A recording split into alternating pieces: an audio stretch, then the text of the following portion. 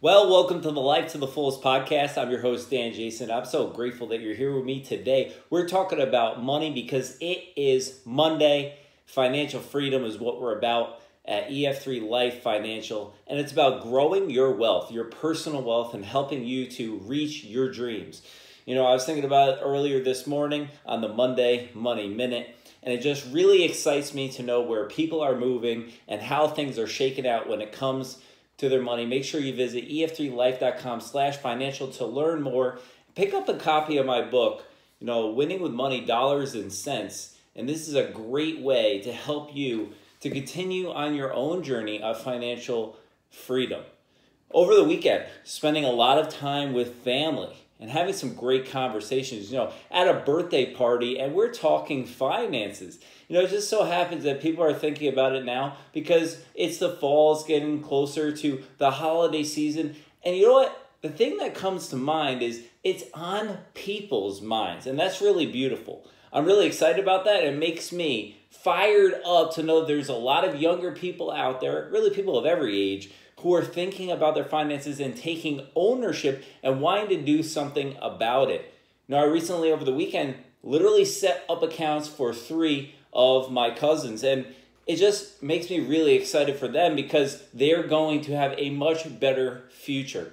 Before college started, I met with two other younger individuals who are going off to school, having turned 18 years old, having income, and we started them out with a Roth IRA and brokerage account so they could trade on the stock market.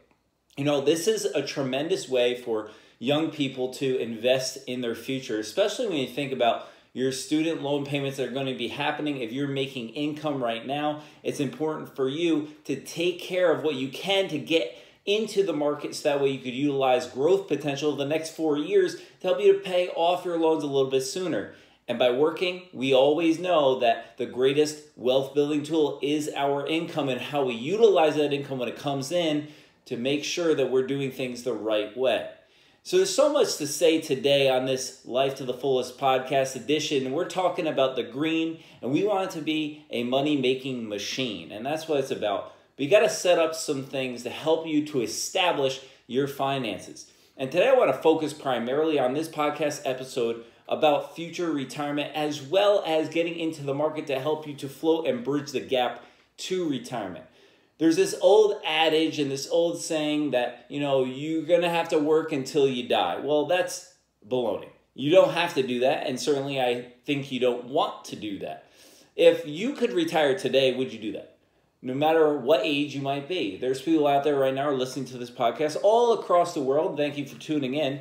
It's actually being broadcasted in over 25 different countries and across the continental US in almost every state. And I'm very excited to say that because there's so many people who are trying to tap into making their life better. And that's what this is about. Life to the fullest is all about that. Trying to give you real insight into these areas of education, faith, fitness, and finance. So when it comes to your money, when it comes to what you work so hard for, and the amount of hours that you put in is actually quite amazing.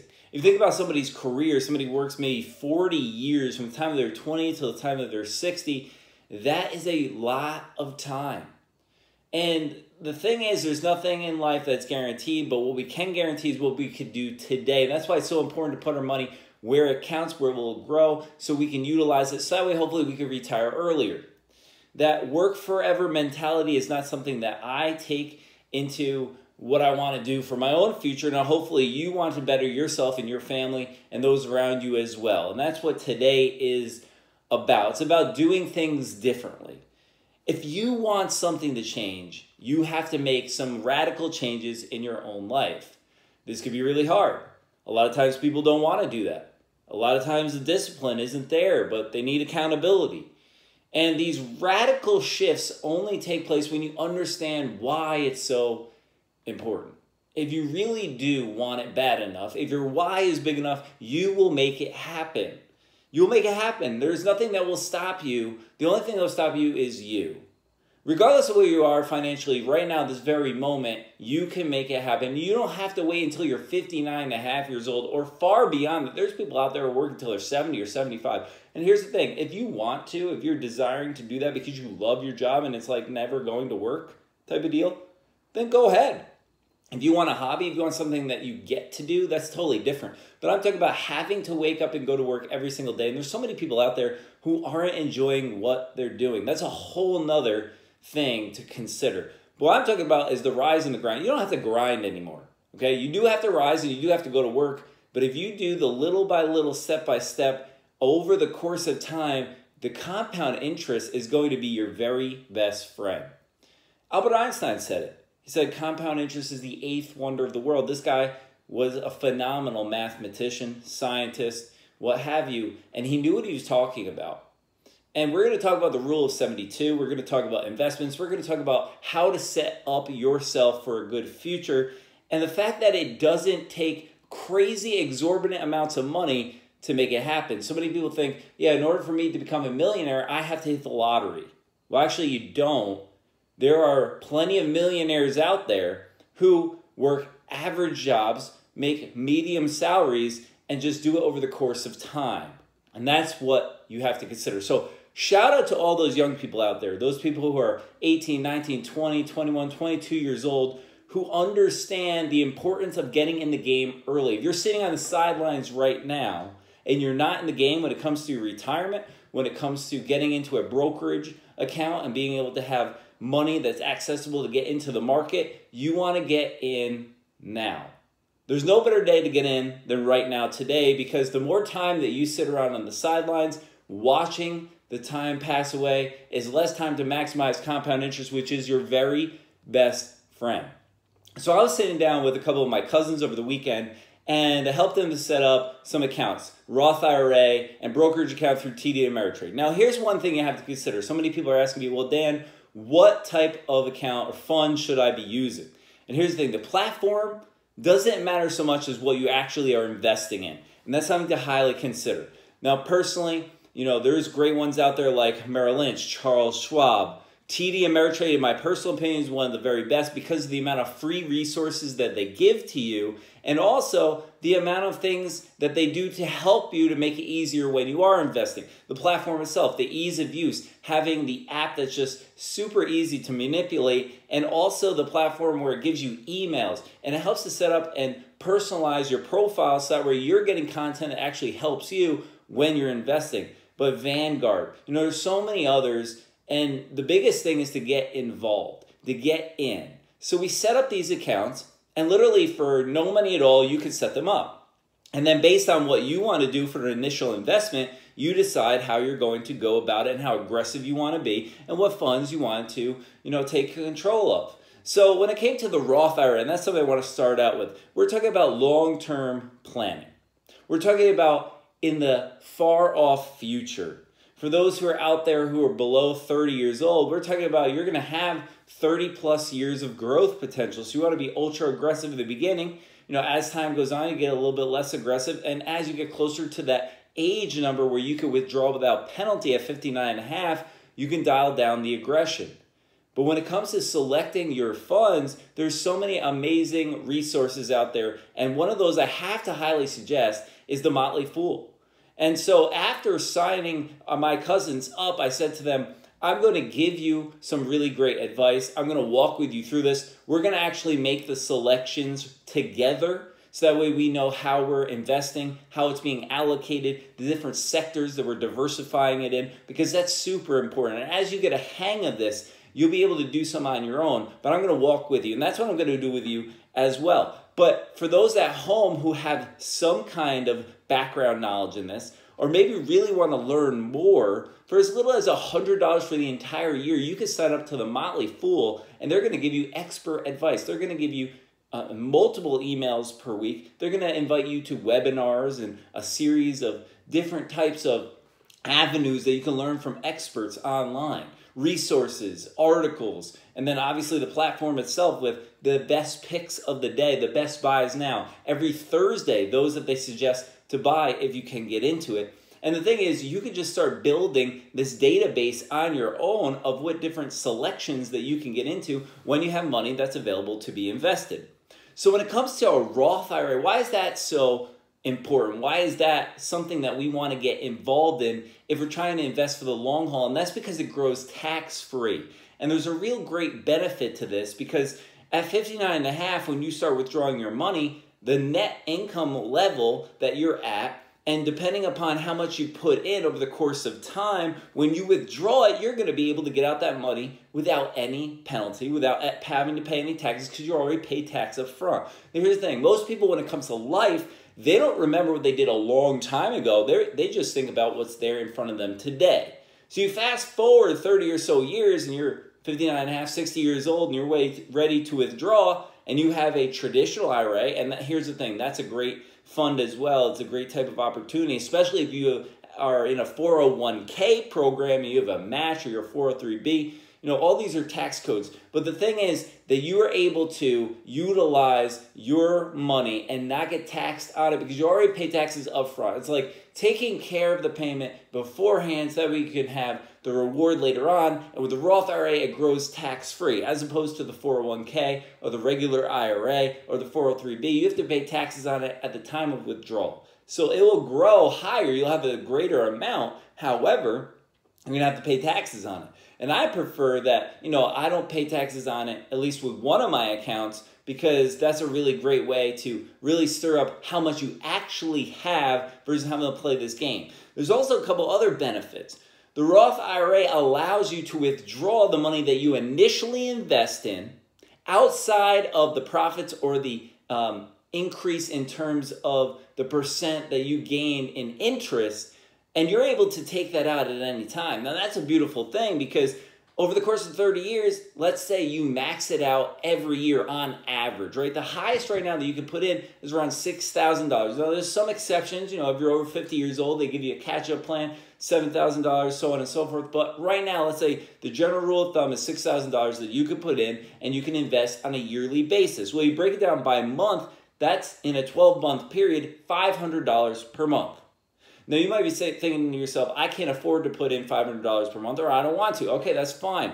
But over the course of time, let's say you do that. Well, your initial investment of $6,000 per year, that's $500 per month times 12 is $6,000 per year, would equate to over a 30 year period $180,000.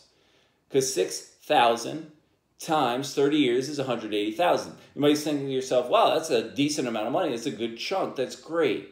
What if I tell you, though, that that money that's growing at an average rate of return, if you're getting the stock market average over the last 125 years at almost 12%, it's going to equate to over $1.25 million.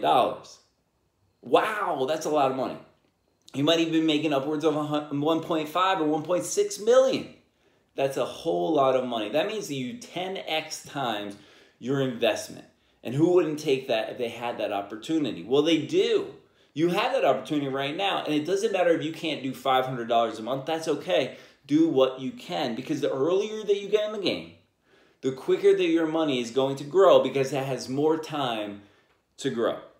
And that's the main thing. Know, I'm talking to 18, 19 year old kids who might have an initial $1,000 investment or $2,000 investment because they got all this money for graduation, right?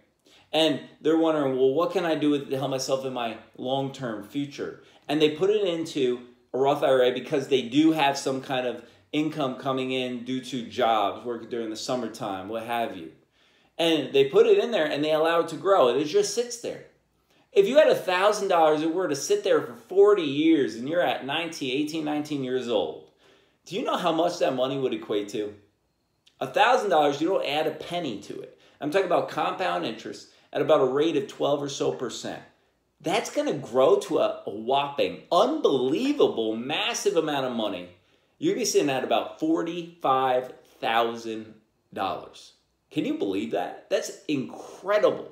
It's unbelievable.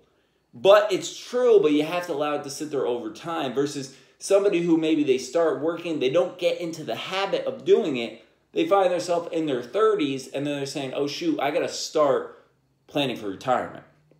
Now, the one downside, the only caveat really to the Roth IRA, besides for if you're trying to take out money that gain interest, you can't take that out without a penalty. Okay, similar to a regular IRA, similar to the 401k or 403b, what have you. But you can only give or put in, I should say, invest $6,000 per year. And there's some people out there who want to do a whole lot more than that, and I highly encourage you. So if you're somebody out there who can do that, max out the 6000 per year. And then once that's maxed out, go ahead and open up a traditional IRA. And if you're someone who has an employer match 401k or 403b, then you want to take advantage of that and do the match. So if your employer is matching you at 6%, at least invest the 6% so you're getting a free 6 so it's like you're actually investing 12. And just know that you have to be vested, meaning there's a select amount of time you have to work for the company before they allow you to take the money that they gave you for the match with you if you decide to move on. Just understand what that is. That way you're staying there long enough, if you can, to be able to take that free money with you. And wherever you go, you can roll it over. Now, if it's a 403b or it's a 401k, it's a traditional IRA that you have, you could always roll it into a Roth IRA if you want to. But again, you're going to have to pay the taxes up front on it, so it might not make sense to do so. You might want to separate those accounts. That's perfectly fine. All right? But we're talking about long term financial future. So, what am I trying to invest in? Well, you want to spread it out and diversify amongst a, a number of different sectors. Right now, obviously, we're in the tech world. Okay? There are companies blowing up all the time. And there's a lot of money to be made with these high tech companies. But you might be somebody that's thinking, you know, even if I wanted to play it safe and I'm selecting companies like Microsoft and selecting companies like Apple and Google and Amazon, what have you, that have been tried and true over the longer period of time, that are still on the rise, maybe that still feels a little bit too risky to you because of your single stocks and companies that you're investing in. Well, then invest in indexes. Invest in ETFs, which trade just like mutual funds, okay? They're just like them because it's a basket of 20 to 25 different companies on average and it spreads it out amongst them so that way you're seeing growth. You're not going to see this exponential crazy type of growth that you know the single stock spikes out of control. You're not going to gain those kind of profits. That's okay though. It's going to grow over the course of time so a couple of those that I highly suggest getting into, Invesco, QQQ, a great one, has all the high tech sector type of companies that I was just explaining, as well as a lot of others that Vanguard has in terms of their VGT, their technology index, and that's a great one as well. There's so many out there. You could do some more research. I have them online. I'm going to be putting out uh, a number of different posts as well. And it, it just helps you to understand that you can do it smart and you can do it in a bold manner to help maximize your gains. All right. ETFs are the way to go in terms of wanting to diversify your portfolio and you want to get into the healthcare sector. So, again, Vanguard funds in terms of healthcare very beneficial, right? You want to get into consumer goods as well. You want to get into large cap and small cap. VOO, VO. These are all symbols for other Vanguard indexes that are very helpful that have a total stock market index of the largest Fortune 500 companies, the middle of the road companies, and then the smaller ones that are on the rise. Diversification is super critical. Mutual funds are super critical. And if you're somebody who just says, you know what, I just want to be on autopilot. Okay, I'm not somebody who wants a hands-on approach. I'm not getting into down and dirty every single day. I also don't want to be calling up an investor or have to spend more money in order to invest. That's okay. You can put it on autopilot. You could buy into a life cycle fund. They have these funds at T. Rowe Price and uh, pretty much every larger type of platform allows you to go into this type of life cycle fund, which basically selects the date that you can retire. So when you're going to turn 59 and a half, so to speak. So it might be a 2055 fund, a 2060 fund. That's just the year that you can start withdrawing the money.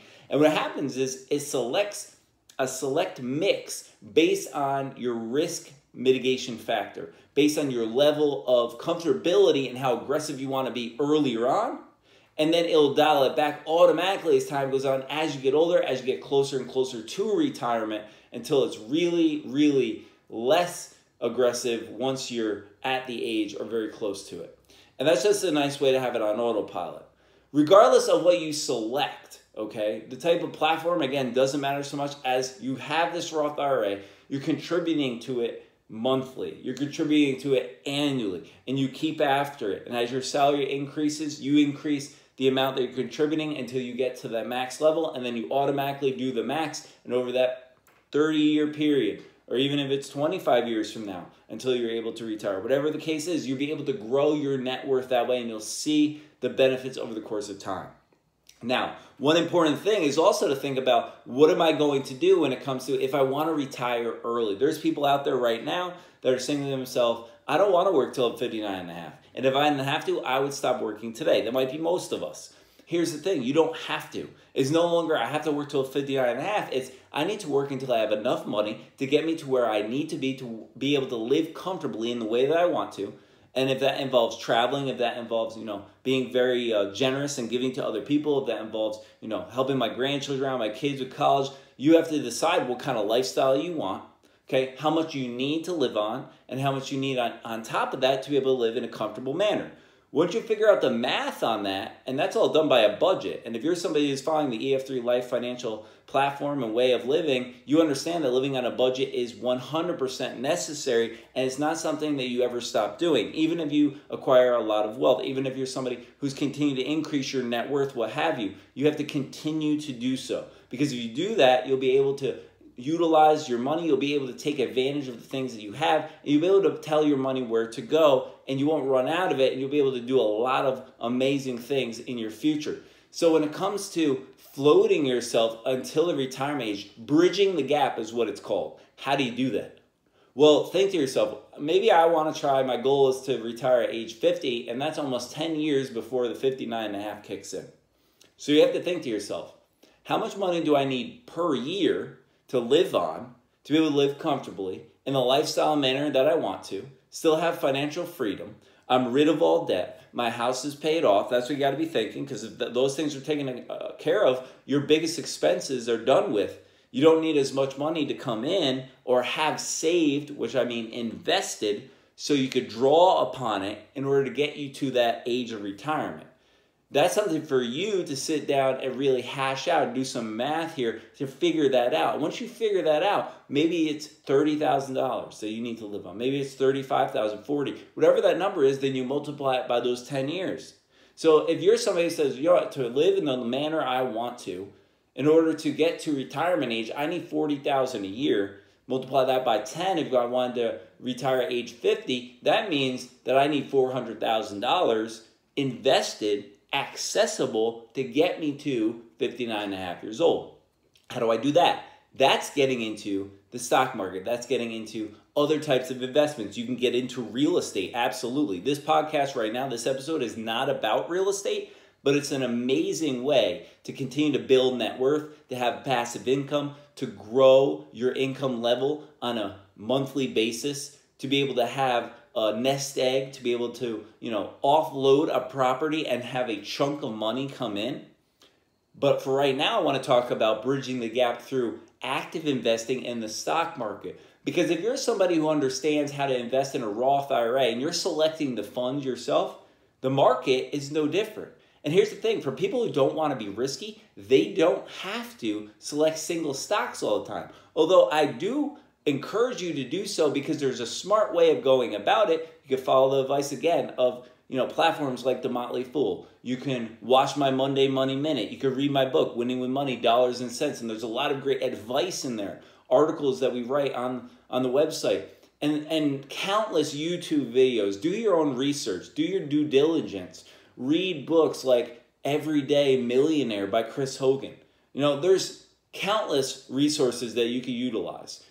The biggest thing, though, is getting in the game and making sure that you stay on top of it. So if you're paying attention, and the app makes it so easy, and I'm not talking about every single day checking it. You can if you want to, but you're going to see lots of ebbs and flows, just like you would with your Roth IRA, your traditional IRA, your retirement accounts. But if you're continuing to actually actively invest, and every single paycheck, you're saying, I'm to put X amount of money into it because that's what I'm doing. I'm to pay myself first. And that's a mentality that has to change. You know, people who wait around, they, you know, pay all of their bills, they go out to dinner, they, you know, do these things and activities, and then they save to invest. There's no way to get ahead. You have to set aside money right away you know, after all of the absolute necessities are paid for, and say, I'm going to put this away or invest it so that way I have more to grow and to, you know, draw on in the days to come. And that's where that mindset shifts, and that's where, you know, having this type of understanding, but also the discipline to do it kicks in. And it becomes a lot of, you know, repetition, but also it becomes really attractive to you because you'll see your accounts continue to rise. And I highly encourage you as you're getting into the actual stock market to start making a spreadsheet. It could be as easy as an Excel sheet and just track which stocks you have. Now, the apps do that for you. So you don't necessarily have to do that, but just being paying attention to how much is your net worth increasing each month. Because if you're continuing to go up, you're going in the right direction. If you have continuous months where it's going down, then you got to think about and reallocate uh, your funds. And that goes more so with active stocks than with uh, Roth IRA or you know retirement account because you have more time. When I'm actively investing in the stock market, I'm thinking about a two year to three year period. So I'm holding. Like, you know, there's periods where ebbs and flows, and maybe you want to sell off some because you want to utilize that profit. And then when it drops back down, you could buy back in. That's a great way of going about it. But you got to figure out, well, what is my goal? You know, what do I want to do? Why am I actively investing? And what am I going to use that money for? If it's to bridge yourself to retirement, you got to keep thinking long term. You could draw on it from time to time, sell 20, 30 shares of this in order to go on a vacation or you know if it's a higher level stock you could sell more of it in order to buy a car that kind of stuff here's the thing though when you're gaining interest when you're gaining money on top because of that compounding factor the beautiful thing is a lot of times you'll be using the interest that you gained from it and the gains from it instead of utilizing the actual initial investment. So, what do I mean by that? Well, if you're somebody who continues to build your portfolio, and let's say you're getting an average rate of return of 12% and eventually you have 100000 invested in there. Well on an average year then you'd be getting $12000 in interest and you're not touching the principal. So as that principal continues to build the amount of interest that will come your way will continue to build and you have more money to take out when it comes to the interest and you can sell it off and utilize it at any time. And that's the beauty of the actual stock market. You don't have to wait until an x amount of age okay when it comes to a non-retirement account you can continue to withdraw, you can continue to, you know, fund it, you can continue to buy and sell on a daily basis. And if you have over $25,000 invested in the market, most platforms will allow you to day trade. So once you get to that that level, they'll allow you to have as many trades as you would like and there's no real limit. Up to that, usually it's like 3 to 4 per week, no more than 5, that's for sure. But it's okay. You know, you're doing this incrementally. Think about it again, it's the long term because you're trying to bridge the gap to retirement so that you can stop working. There's no greater asset than time. And money compounds thanks to time. But what's even better than money compounding based on time is having freedom to do what you want while you want, to allow your dreams to come true, to live it out, to get after every single day. For some people, that's traveling. For others, that's spending, you know, just amazing amount of time with their kids, their grandkids. For others, that's taking on new hobbies, you know, volunteering and giving back to the community. There's so many things that you can want to do but you can't do it unless you have the ability to do so. And a lot of that has to do with how much money is in your bank account, how much you have funded, how much you have to float you to that specific age. So, the key takeaways today is to get in the game early and often. If you're somebody who hasn't started out your retirement, regardless of what your age is, start out today. It's very easy. Simply go online, open up a an account you could call up TD Ameritrade, can call up Vanguard, you can call up Merrill Lynch. Regardless of the platform, get involved today. Start funding it. Start getting into the habit of putting money away for your financial future. And also get involved when it comes to the market because that is a great um, net worth building tool. It's a great resource. Don't be scared of it. Understand that you can mitigate risk by diversifying your portfolio, by spreading it out amongst a lot of different sectors by utilizing mutual funds and ETFs, which are involved in you know upwards of 25 30 different companies. So that way you don't have to worry about the market tanking and you know losing everything. Understand that this is your future. You have to take control of it and you have to do something differently. If you do that if you take this advice if you pick up a copy of my book winning with money dollars and cents i assure you you're going to learn so much and you're going to benefit not only yourself but your family and those around you, you're going to be feeling better. You're going to be walking with more confidence, and you're going to have truly that free and abundant life. Make sure you visit ef3life.com and also check out my social media at ef3life. God bless and have a great day.